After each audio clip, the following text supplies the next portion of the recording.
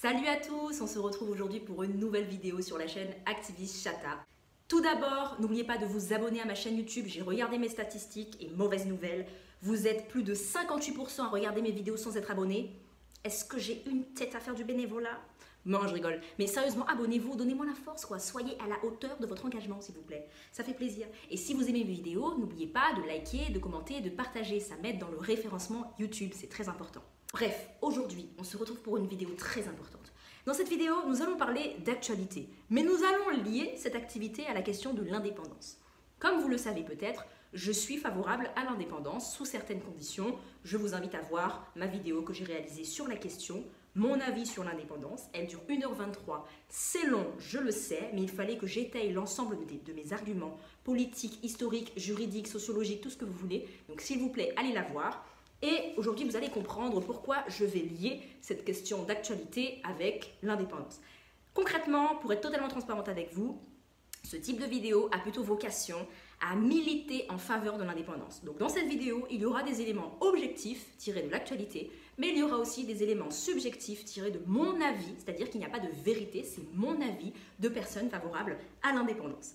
Donc, bien sûr, ce sera assez visible de comprendre ce qui relève de mon avis et ce qui relève de la vérité euh, objective, mais je tenais à vous le dire parce qu'ici, on est une chaîne de transparence et toutes mes vidéos ne sont pas euh, un discours euh, en faveur de l'indépendance, d'accord?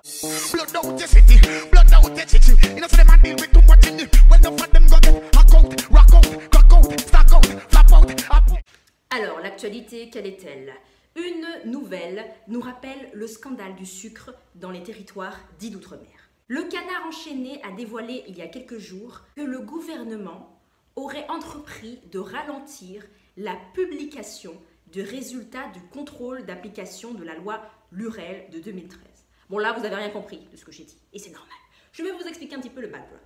Depuis des décennies, en Outre-mer est dénoncé l'abus de sucre dans les produits transformés, que ce soit les sodas, que ce soit les yaourts ou tout autre produit transformé, on a remarqué, des médecins ont remarqué que les produits étaient beaucoup plus sucrés que dans l'hexagone. En effet, le taux de sucre dans certains aliments, comme les yaourts ou le soda, sont plus élevés en sucre de 27% à 50% par rapport à ce qui est vendu en hexagone. Par exemple, les sodas qui sont commercialisés en Martinique et en Guadeloupe contiennent environ 2 grammes de sucre en plus par 100 millilitres par rapport à l'hexagone. Par exemple, le Fanta orange qui est distribué aux Antilles contient 42% de plus de sucre qu'en hexagone.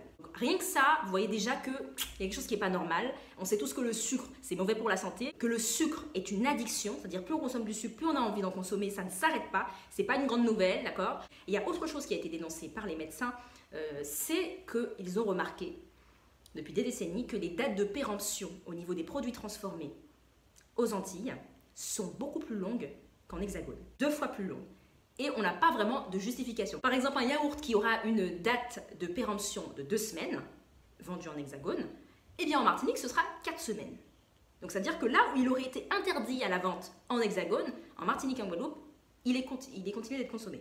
Ça pose quand même une question sanitaire assez importante. Pourquoi cette différence de situation? C'est étonnant, tiens donc, pourquoi l'Hexagone et l'Outre-mer ne sont pas traités de la même façon? Surtout que nous savons tous que dans nos régions, il y a un fort taux de diabète et d'obésité.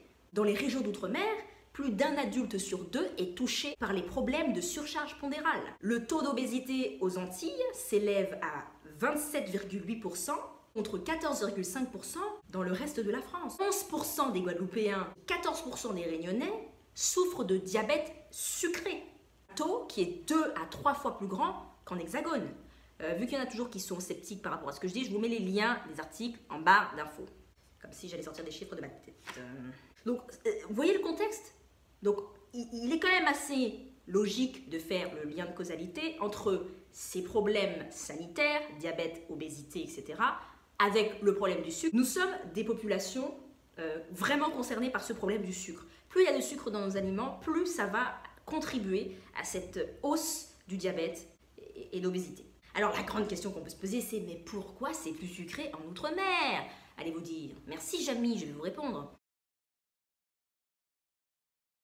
Il semble que les industriels agroalimentaires utilisent une faille juridique. C'est-à-dire que le code de la consommation permet au fabricant de fixer lui-même la date limite de consommation. Donc traditionnellement, la date limite pour un yaourt, c'est 30 jours après sa fabrication. Mais on remarque que dans les régions d'outre-mer, c'est parfois 60 jours. Et ça pose aussi un problème au niveau de la loyauté du commerce et de l'industrie, parce que les fabricants locaux en Outre-mer qui, eux, produisent ce même type de produit, ils respectent les règles, donc c'est un peu déloyal, parce qu'ils vont vendre un yaourt qui va euh, avoir une date limite de 10 jours, contre un industriel qui importe ses produits en Outre-mer et qui laisse une date limite de 60 jours. Vous vous rendez compte? Donc forcément, le consommateur, qu'est-ce qu'il va choisir? La date limite la plus éloignée. Une autre excuse qui a été avancée sur le fait que les produits soient trop sucrés, ce serait que dans les départements dits d'outre-mer, les fabricants locaux de tout ce qui est laitage, etc., font importer du lait en poudre qui est euh, naturellement plus sucré. Au niveau de tout ce qui est soda, alors là, c'est juste l'entreprise elle-même qui euh, permet de modifier la recette selon la région où l'on se trouve. C'est-à-dire que le, coca euh, aux États-Unis et en France n'a pas le même goût. Le coca en Chine et en Martinique n'a pas le même goût. Euh, d'accord, à la rigueur, je veux bien qu'il y ait des petites différences de goût, mais par contre, 42% euh, de sucre en plus, là on se fout un petit peu de notre, tête là, d'accord? Il faut savoir que euh, par rapport à tout ça, c'est un fait qui est dénoncé depuis des décennies. Et sachez que nos politiciens locaux ne sont pas restés sans rien faire. moi, je suis la première à taper sur les politiciens locaux, etc. On est les premiers à le faire, mais il faut reconnaître quand ils font quand même du taf. Il y a des parlementaires qui se sont battus, mais vraiment battus bec et ombre, pour faire adopter une loi, s'appelle la loi Lurel, qui a été portée notamment par monsieur Victorin Lurel, qui a porté cette loi en 2013 et euh, cette loi euh, est composée de plusieurs articles. C'est la loi du 3 juin 2013 visant à garantir la qualité de l'offre alimentaire en Outre-mer. L'article 1er opère une modification de trois articles du Code de la santé publique. Permet en effet d'établir le fait que, désormais, aucune denrée alimentaire de consommation courante destinée au consommateur final distribuée dans les collectivités dites d'outre-mer ne peut avoir une teneur en sucre ajouté supérieure à celle d'une denrée similaire de la même marque distribuée en France hexagonale. C'est-à-dire que cet article dit, tu vends ton yaourt Yoplait avec 40% de sucre en plus en Outre-mer, tu n'as pas le droit de le faire. Le deuxième alinéa de l'article précise, lorsque la teneur en sucre ajouté d'une denrée alimentaire de consommation courante distribuée en France hexagonale diminue, les responsables de la mise sur le marché des denrées similaires de la même marque distribuées dans les collectivités dites d'outre-mer sont autorisés à poursuivre leur commercialisation jusqu'à épuisement des stocks dans un délai maximal de 6 mois. C'est-à-dire que même cette loi, quand même, elle essaie de permettre aux industriels de prendre le temps de se remettre en question. Hein. Elle n'est pas radicale, elle essaye d'être terre à terre et d'être pragmatique et de dire Ah bon, si en France on remarque qu'un yaourt Lyoplay a baissé de 40% en sucre, et qu'il reste des stocks euh, pour, euh, à destination des territoires dits d'outre-mer, on les laisse finir les stocks et après utiliser ces yaourts avec moins de 40% de sucre voyez Donc c'est pas non plus une loi qui demande de faire l'impossible. Parce que les industriels de l'agroalimentaire, on les voit venir à commencer à dire mais c'est pas possible de respecter la loi. Si c'est possible, c'est que vous n'avez pas la volonté. Parce qu'ils ont pensé à vous quand même. Ils ont pensé à être pragmatiques et à pas demander des choses impossibles. Le deuxième article du Code de la santé publique qui a été modifié par la loi Lurel de 2013 euh, est le suivant. La teneur en sucre ajouté des denrées alimentaires de consommation courante destinées au consommateur final distribuées dans les collectivités dites outre-mer mais non distribué par les mêmes enseignes en France hexagonale, ne peut être supérieur à la teneur en sucre ajouté la plus élevée constatée dans les denrées alimentaires assimilables de la même famille les plus distribuées en France hexagonale. Donc là, qu'est-ce que ça veut dire?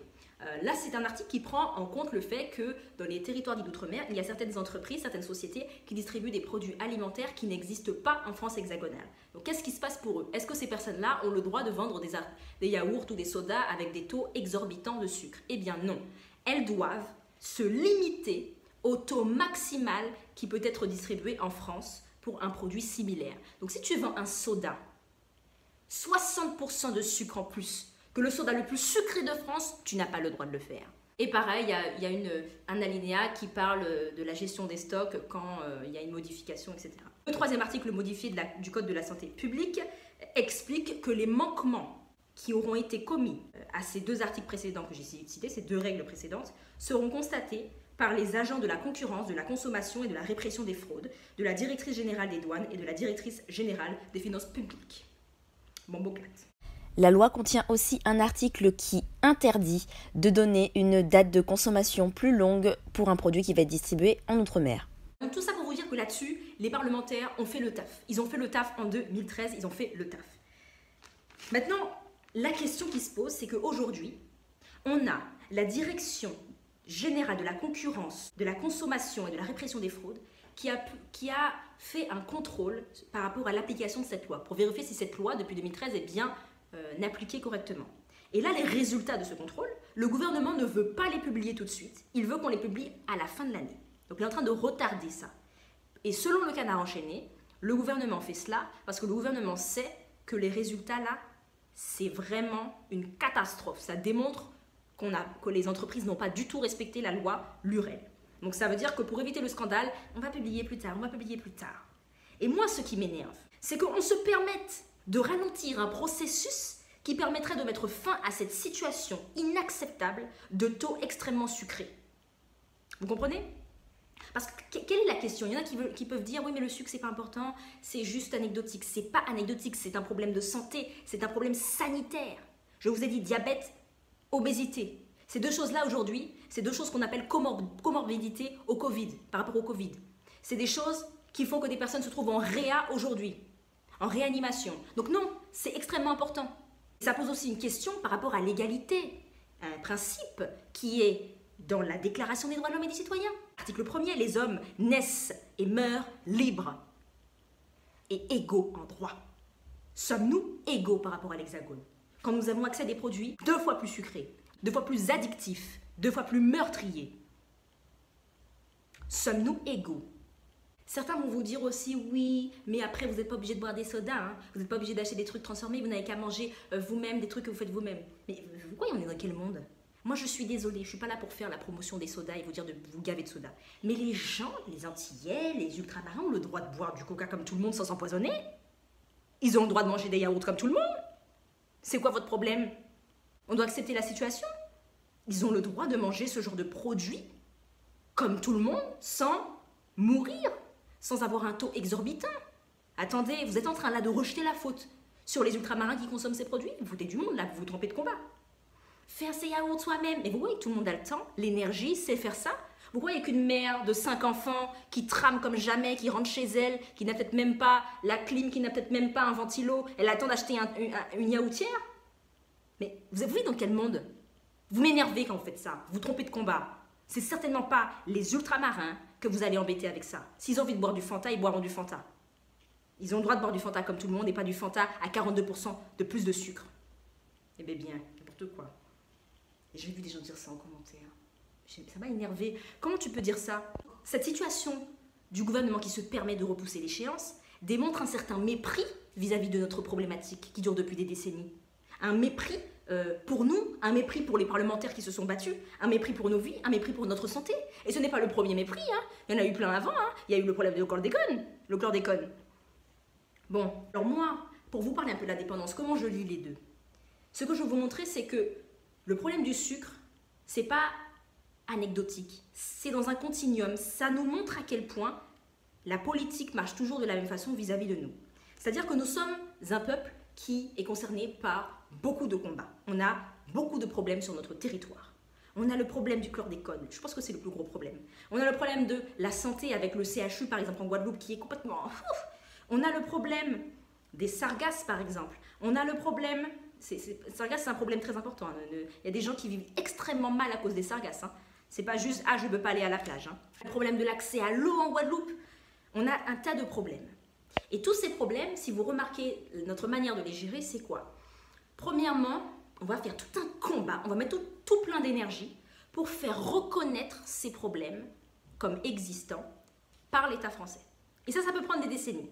Par exemple, le chlordécone, faire reconnaître à l'État français que le chlordécone c'est un problème de santé sanitaire, que le chlordécone c'est cancérigène, etc. Ça nous a pris des décennies. Et même, même c'est pas totalement acquis. Hein. Rappelez-vous quand Emmanuel Macron est venu en Martinique il n'y a pas très longtemps, je crois que c'était il y a un ou deux ans, et qu'il avait dit non, non, il faut pas dire ça, faut pas dire que le chlordécone est cancérigène. Tu es sérieux là? Tu es sérieux? Tu crois encore au Père Noël? Non mais faut arrêter là de dire des bêtises aux gens. Là c'est clair et acté. Le chlordécone c'est cancérigène. Donc déjà, vous vous rendez compte, on a passé des décennies à essayer de faire reconnaître. C'est ça notre combat. C'est ça notre premier combat, c'est faire reconnaître notre problème comme problème par l'État français.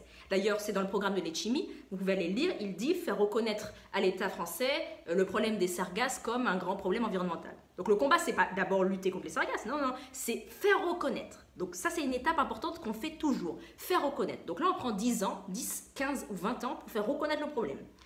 On n'a toujours pas réglé le problème, hein. on a juste obtenu le fait que l'État français va dire Ah, il y a ce problème aux Antilles, ah, il y a ce problème en Outre-mer. Deuxième étape de nos combats, à chaque fois ça se passe comme ça, c'est systématique, il faut maintenant que l'État a reconnu le problème, l'existence, qu'on oblige l'État à prendre ses responsabilités d'État et à réagir et à trouver des solutions. Hum. Et ça, eh bien, dites-moi si ça a déjà marché pour un de nos problèmes. Chlordécone, CHU, accès à l'eau, santé publique, sucre, sargasse. On peut mourir, hein On peut mourir. Ça va nous prendre 30 à 40 ans. Donc en fait, si vous remarquez, c'est qu'on passe plus de temps à nous battre pour que l'État reconnaisse nos problèmes. Alors que si nous étions indépendants, nous serions exonérés de cette étape. On se serait directement posé et dit quelle solution pour le chlordécone? Quelle solution pour le CHU Quelle solution pour l'accès à l'eau? Quelle solution pour les sargasses? Quelle solution pour le sucre? On n'aurait pas passé 10 ans à essayer de convaincre l'État de l'existence d'un problème. On aurait passé 10 ans directement à chercher la solution du problème. Alors, est-ce qu'on l'aurait trouvé? Je ne sais pas, je ne peux pas vous dire, parce qu'on n'est pas indépendant. Mais en tout cas, on n'aurait pas perdu de temps. Et c'est ça que je veux vous parler, c'est qu'en fait, le problème du sucre, c'est pas juste le problème du sucre. Ça démontre à quel point c'est toujours lent pour nous. Et finalement, c'est toujours la même chose. On est toujours dans le même embrayage. On s'épuise, mais on s'épuise vraiment à faire reconnaître nos problèmes. C'est fatigant. Et ça pour tous les problèmes qui nous touchent. Alors, est-ce qu'on va s'en sortir un jour? Est-ce qu'on veut continuer dans cette voie-là? Moi, je n'y crois plus aujourd'hui. L'État français est démissionnaire vis-à-vis de nous, ne prend pas ses responsabilités. Quand on vote, on vote pour l'État français. On vote pour un président de la République française, mais pas pour nos problèmes à nous. Parce que lorsque les candidats sont en campagne, est-ce qu'ils vous parlent du chlordécone? Est-ce qu'ils vous parlent de l'accès à l'eau en Guadeloupe? Est-ce qu'ils vous parlent du CHU euh, Est-ce qu'ils vous parlent des essais nucléaires euh, en Polynésie? Est-ce qu'il vous parle de ça? Non, il ne vous parle pas de ça. Il reste sur les mêmes sujets, des sujets très hexagonaux. L'immigration, la sécurité par rapport au terrorisme, euh, les, services publics. C'est des, trucs très importants, mais c'est des trucs par rapport à la France. Et moi, j'avoue, quand je vote, je vote au présidentiel en pensant à l'intérêt de la France, parce que je sais que de toute façon, aucun candidat ne correspond à ce qu'on veut nous, à part Christiane. Si Christiane Taubira se présente, ce serait très intéressant. Mais vous voyez, il n'y a pas de candidat qui, parle, qui nous parle. Et quand on a nos élections locales, eh ben, on a beau élire qui on veut. Au final, quel pouvoir ils ont ces gens-là? Ils n'ont aucun pouvoir. Ils se battent au maximum pour faire reconnaître des problèmes à l'État français. Et une fois que c'est réussi, comme avec la loi Lurel, pas d'application du texte. Rien ne se passe. C'est fatigant, c'est épuisant. À quoi ça sert? Pourquoi on va continuer à s'épuiser à essayer de convaincre quelqu'un qu'on a des problèmes? Pourquoi est-ce qu'on ne pourrait pas juste dire, bon, on va pas perdre notre temps à essayer de convaincre cette personne qui n'en a rien à faire de nous, on va directement chercher nos solutions? Donc moi, c'est juste ça que j'ai envie de vous dire. C'est une question de prisme de pensée. Qu'est-ce qu'on a envie d'être? Parce que certains voient l'État français comme une couveuse qui nous protège de tout. Mais est-ce que l'État français nous protège vraiment? Est-ce que l'État français nous écoute vraiment? Est-ce que l'État français nous considère à égalité comme ses concitoyens hexagonaux vraiment? Moi, je vous pose la question. Est-ce que vous vous sentez entendu? Est-ce que vous vous sentez protégé? Est-ce que vous vous sentez soutenu? C'est la question que je vous pose. Alors, je vous remercie d'avoir regardé cette vidéo.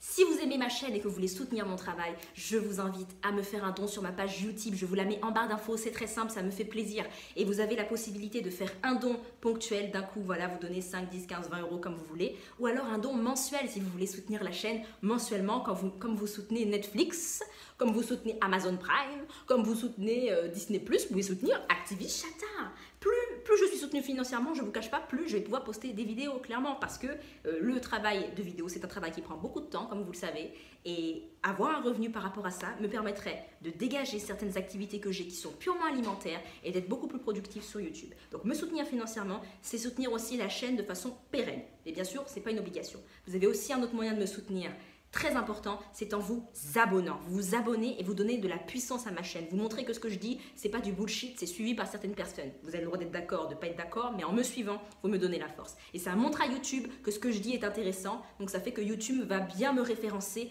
au niveau de l'algorithme. N'hésitez pas à liker et à partager parce que ça c'est très important.